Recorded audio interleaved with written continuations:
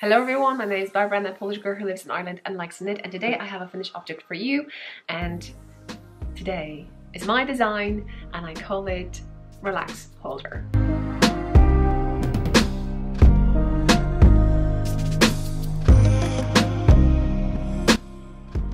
I designed something quick, something fun. Uh, the yarn that I use is 100% Polish wool. I may have this kind of 30 grams because that's how much I used um, in my shop. So um, we shall see how it goes. Don't take a word for it. The pattern you can find linked down below. And if you're watching it when it is re released and hopefully around December, January. And if you're watching it when it's released, there's 20% off. So check the link down below. I'm going to put a code over there. Uh, follow me on social media because most of the times when I'm publishing new pattern, I give a discount here and there. So uh, check it out. This holder was designed for my sister. When I showed her uh, a Polish wool, how rustic it is, she thought it would be a brilliant idea to have a washcloth and that was actually her uh, request um, for a Christmas gift. So this is what I'm going to give it to her. I'm going to use it as a soap holder.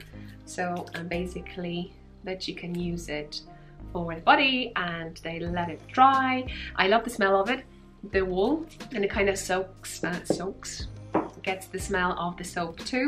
Uh, we shall see how it reacts. Maybe I will do a small washcloth. Actually, I made one just to test it, how it's going to uh, react. I have a quite a bigger one. I think a smaller one would be even better. So you can have a really nice a gift for someone uh, you love. Uh, like I said, it doesn't have to be used as a soap holder. You can use this just to hang it somewhere and put some little things in it, like a pocket. And that's that. You may notice I have a little tag. You may notice a little tag with a heart and I have over here a year, uh, 2018, so she will know when I knitted it and I will know too because I have tendency to forget and I think it's so cute. So what you need to do to knit this. Um, obviously you can get quite a nice rustic wool, but I think um, Cotton may work well too, although cotton has a tendency to stretch after a while, so um, go for it if you want to. The gauge for this pattern is 16 stitches by 20 rounds. Uh, to knit it, to knit it, um, in the pattern you have a link to the Judy's Magic Cast on. We're working around um, and then we're doing the creases. We do something special over here in the middle and we finish with an I-cord, a, a I-cord loop. So um, quite easy, check it out. Uh, and I hope you're going to get a, the same nice uh, effect. This is for one size only, but once you read, but once you read the pattern, you can adjust it to the size you want. Uh, I presume after knitting a first one, you'll know what to do in case you want to have it smaller or bigger.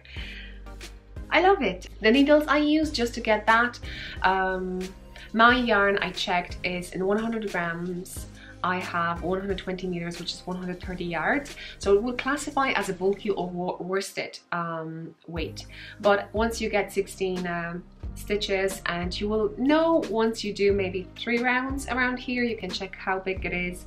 Um, you will know um, you can get smaller or bigger. Obviously you can go with whatever you want. You can follow the pattern with of stitches and at the end of the day you may get the holder smaller or bigger.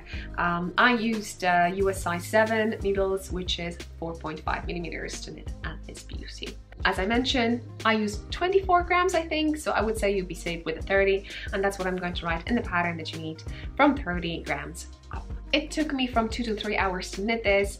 Obviously, I was focusing on the pattern too, so maybe a little bit quicker, but I would say if you have two, three hours, you can have it straight away and go for it. Very nice.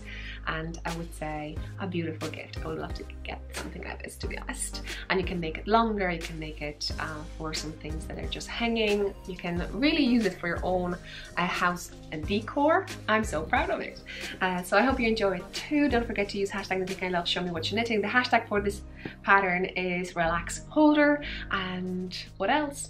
Share. I hope you enjoyed this one. See you next one. Bye. I think that's all. Okay, so one more thing just to let you know, check Knitting I Love group on Ravelry. There is something like Knitting I Love pattern giveaway. I'm not saying anything more. Check it out. link down below. Bye.